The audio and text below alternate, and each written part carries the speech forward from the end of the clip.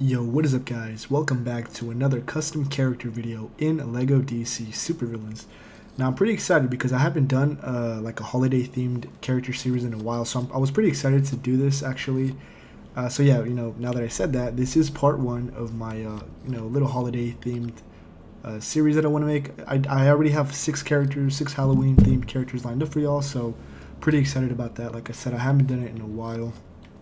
And yeah, man, I want to start off with a bang. You know, I want to start off with a good character that I think, even though with the limitations of this customizer, I still think this one turned out pretty good, pretty creepy. Um, I'm not gonna lie, I did have to take you know my own interpretation of the design because again, with the customizer, you don't exactly have all the pieces you need.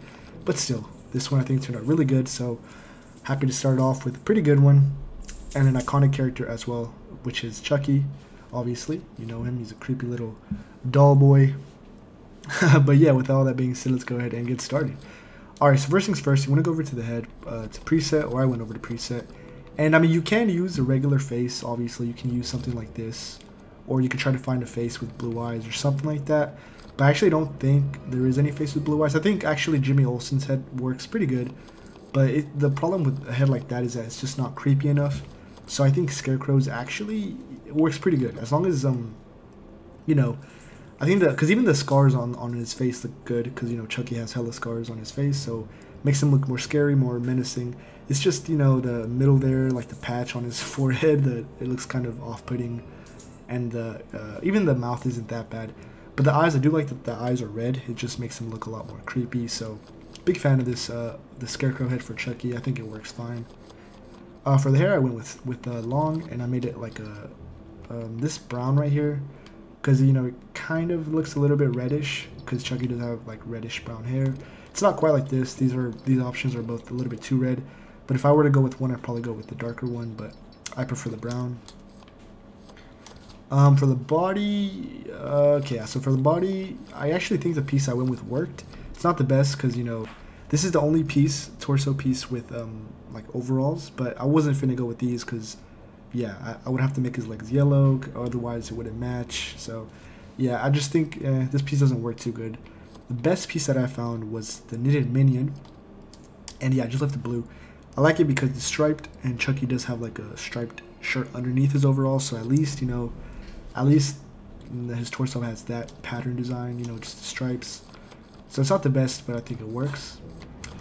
Uh, the arms, I went with the Joker henchman. Damn, my AC turned on. But yeah, for the arms, I went with the Joker henchman, and then I made them green. Uh, because the shirt does does have some green, so I just wanted to have a little bit of color variety and not just make his whole torso and arms blue. So I think the green works. The green works just fine. And then the hands, just uh, I think just skin tone hands. And then for the legs, uh, I actually went with um. So yeah, he wears like obviously overall, so it's still you know like the the blue jean material. What's it called, denim or whatever. Um, and he does have red shoes.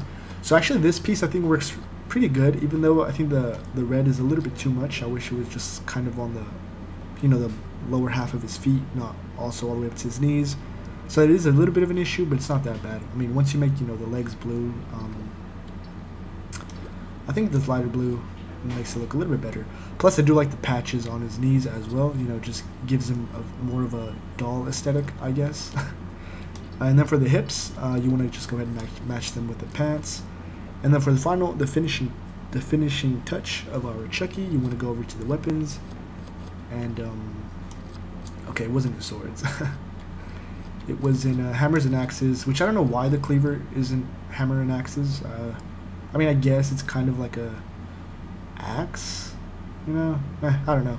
But yeah, you want to go with the cleaver, um, just because they don't have like a regular kitchen knife, and I still think it looks good definitely, you know, the cleaver is still a menacing weapon, I would say.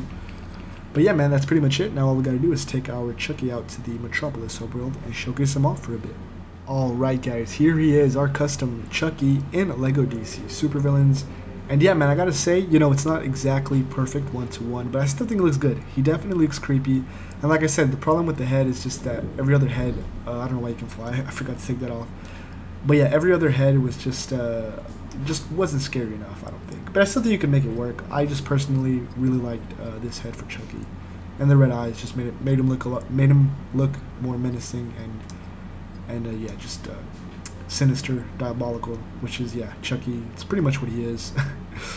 He's the embodiment of uh, evil and scariness. Cause yeah, I was pretty scared of that man as a, or that doll as a as a kid.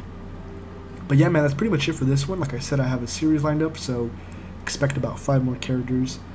But yeah, thank you all so much for watching. See you on the next one, guys. Take care. Peace.